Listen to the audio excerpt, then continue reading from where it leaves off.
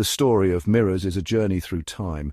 Early civilizations created man-made mirrors by polishing obsidian, volcanic glass, as early as 6000 BCE in Anatolia, modern-day Turkey. Around 4000 BCE, Mesopotamians and Egyptians crafted mirrors from polished copper, while the Chinese and Greeks later used bronze and other metals. These early mirrors were functional but did not produce clear reflections. By the Middle Ages, mirrors were made using a thin layer of tin and mercury on glass, but these were expensive and often toxic due to mercury exposure. The modern silvered glass mirror was invented in 1835 by German chemist Justus von Liebig. He developed a wet deposition process which involved coating glass with a thin layer of metallic silver by chemically reducing silver nitrate. Liebig's invention revolutionized mirror making by making mirrors more affordable and widely available, safer than older mercury-based mirrors, higher quality producing clearer and more durable reflections.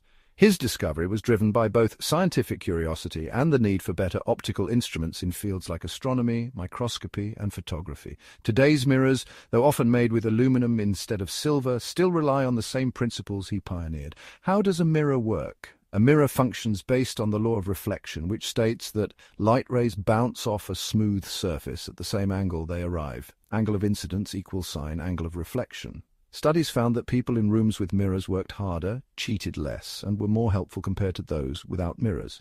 Mirrors also play a vital role in medicine. Mirror therapy is used to treat phantom limb syndrome, stroke-induced paralysis, and chronic pain, tricking the brain into aiding recovery.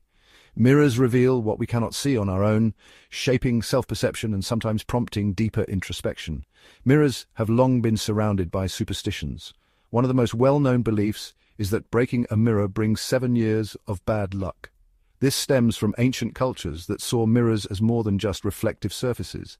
They were thought to hold a piece of the soul. Though simple and unchanged over time, they influence how we judge distance, motion and space. Whether in daily life or psychology, mirrors shape both our perception and our understanding of ourselves.